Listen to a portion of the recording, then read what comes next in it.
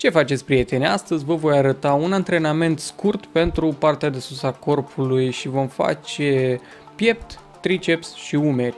Uh, sunt zile și zile, uneori nu ai chef să te antrenezi super hardcore și așa mai departe și dacă ești obosit uh, este bine să-ți ajustezi și antrenamentul. Am început cu acest împins la piept cu bara cu o mică pauză, vedeți, fac o secundă pauză pe piept și apoi uh, și apoi continui mișcarea, deoarece în acest fel folosești greutate un pic mai mică, dar lucrezi la partea de jos a, a mișcării, la partea de explozie, pentru că trebuie să pleci uh, din, de la zero, fără a avea avânt, cum ar veni. Uh, după aceea ne-am mutat la acest împins la piept la aparat, doar că am făcut uh, cu o priză apropiată. În acest fel, vedeți că scot coatele în exterior, mimează împinsul cu ganterele, și după cum puteți observa sunt uh, concurez pentru cel mai alb om din lume. După cum ziceam, sunt zile și zile. Uh, în această zi am vrut să termin antrenamentul destul de repede pe ca să am și timp de cardio, uh, dar în același timp să lucrez mai multe grupe pentru că deja a fost miercuri și marți nu am fost la sală, luni nu am fost la sală și nici în weekend nu am fost la sală, deci trebuia să recuperez cât de cât grupele pentru a avea timp să-mi lucrez toate grupele până la finalul săptămânii. Iar la final, deci am făcut doar 3 exerciții pentru piept, iar la final am făcut simplu, fluturări cu cablurile, uh, undeva în partea de mijloc am dus, uh, am dus cablurile încât să ne lucrăm cât mai bine tot, uh, tot pieptul.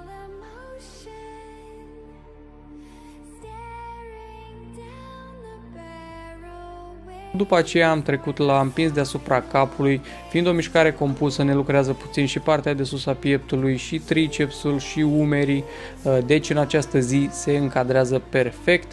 Uh, vedeți că bara circulă direct deasupra capului și nu în față,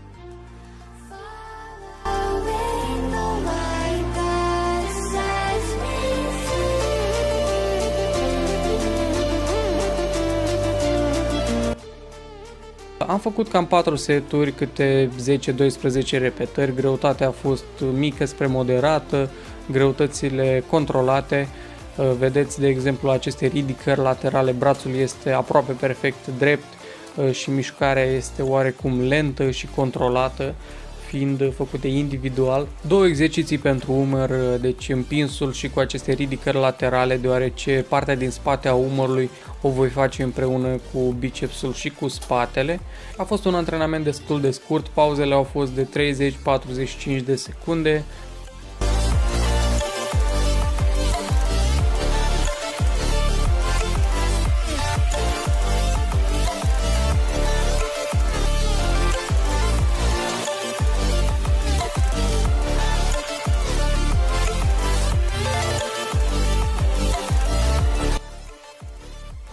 După aceea am trecut la flotări la paralele, un exercițiu care ne lucrează atât pieptul cât și tricepsul, deci la fel se încadrează perfect în această zi.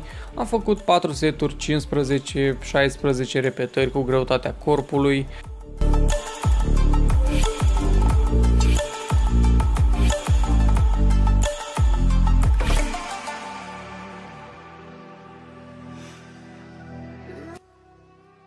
Am finalizat tricepsul cu extensii cu bara la scripete, doar că am stat un pic aplecați pe față uh, pentru a mima, gândiți-vă că dacă întoarcem această imagine cu susul în jos, uh, mimează extensiile deasupra capului cu bara Z din culcat. Și cam asta a fost, scurt și eficient și după aceea am mers la cardio.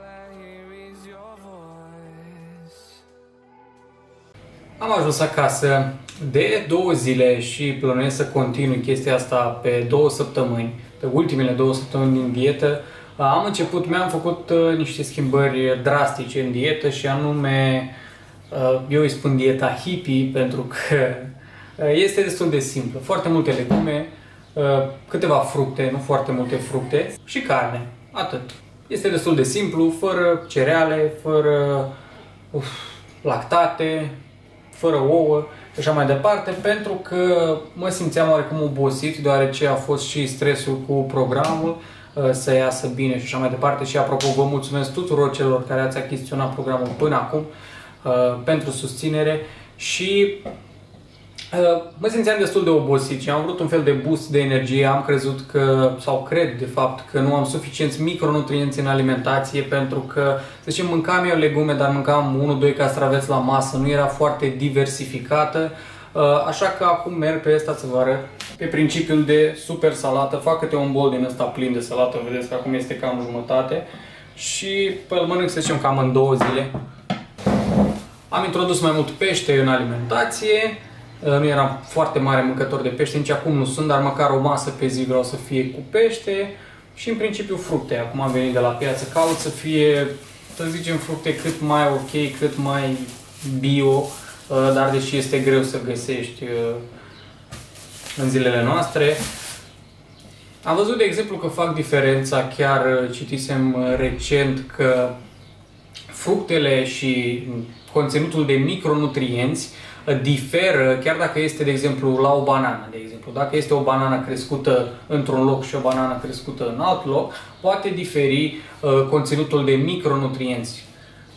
Observasem acest lucru la Goji, era o firmă foarte mare care s-au apucat de plantat uh, goji prin uh, toată lumea pentru a face medicamente și au observat că pe un platou la vreo 5.000 de metri altitudine ieșea cel mai bun goji și chiar dacă era tot goji, uh, cel la 5.000 de metri era de 500 de 500 de ori mai dens nutrițional și avea proprietăți mai bune decât un goji normal. Deci oarecum și sursa fructelor contează. Uh, acum o să mănânc cam 100-200 de grame de, din astea, cum se cheamă, căpșuni. Și după asta mănânc niște pui cu salată. In to the lesser fight My body aches to be satisfied. My weakness comes and goes. My weakness comes and goes. I'm reaching out for the easy high.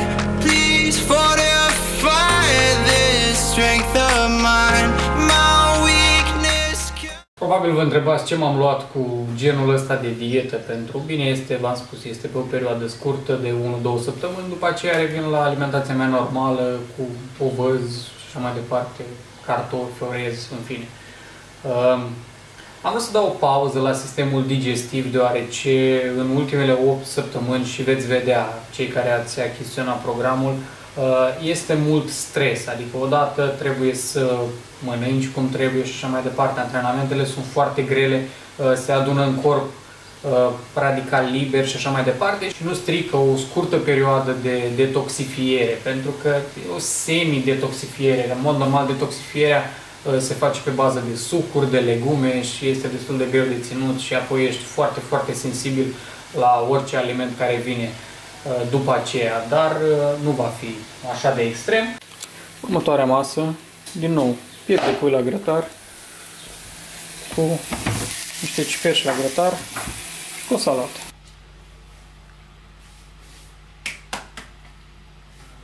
Și arată un om umflat după ce am mâncat de 3 ori pe zi salată. Ce este interesant este că nu mi este foame, deoarece am mâncat, deci astăzi am mâncat de 3 ori salată cu carne de piept de pui, cam 100-150 de grame la masă uh, și 2-3 gustări cu fructe. Asta înseamnă o dată am mâncat o banană, o dată o pară și o dată. Deci uh, ca și fructe, cred că m-am mâncat dat undeva la 50-60 de grame de carbohidrați din fructe uh, și restul salată și cu piept de pui. Deci oarecum destul de puține calorii am să mai compensez cu niște uh, semințe, nuci, migdale și așa mai departe, ca să nu ajung cu caloriile foarte jos, uh, dar pe total nu este foame, ceea ce înseamnă că sistemul digestiv lucrează bine și absorbe foarte bine toate alimentele, pentru că simt fiecare masă, nu este ca și cum a trecut prin mine și asta este după jumătate de oră, mi este iarăși foame. Ceea ce este interesant, este o experiență interesantă, o puteți integra din când în când. De exemplu, dacă ați trecut printr-o perioadă, nu știu, ați avut 3-4 luni în care ați mâncat uh, foarte multe proteine, de obicei în perioada de definire mâncăm foarte multe proteine pentru a încerca să ne păstrăm cât mai multă masă musculară. În momentul în care terminăm, putem reduce un pic, să zicem, la 1,8, chiar 1,6 pentru o săptămână sau, uh, sau două săptămâni uh, și să creștem nivelul de micronutrienți din legume și fructe. Practic asta ar fi cea mai bună variantă uh, și este ca un fel de mini detox, după cum am spus. Sper că v-a plăcut acest video, bineînțeles nu uitați să dați un like, nu uitați să vă abonați și Fitness Nation pe data viitoare. Pa!